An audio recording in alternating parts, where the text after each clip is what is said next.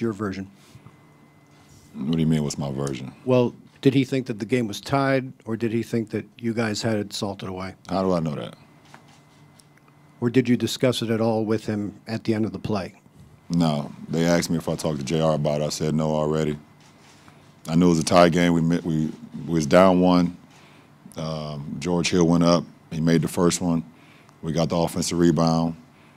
You know, I thought we were all aware of what was going on. That's my view. So I don't know what J.R. was thinking. I don't know the question you're trying to ask.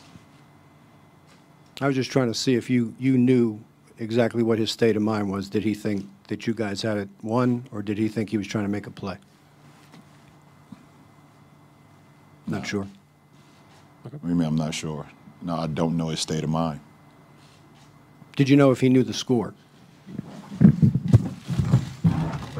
Thank you.